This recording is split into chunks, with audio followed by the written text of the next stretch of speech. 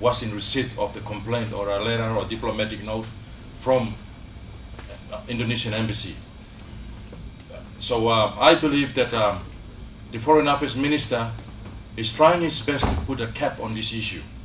But this, this issue is a very important issue, and from the opposition we will not let it, and by Nona Bigodai, we will make sure that we push this issue and the truth comes out of it. Thank you very much.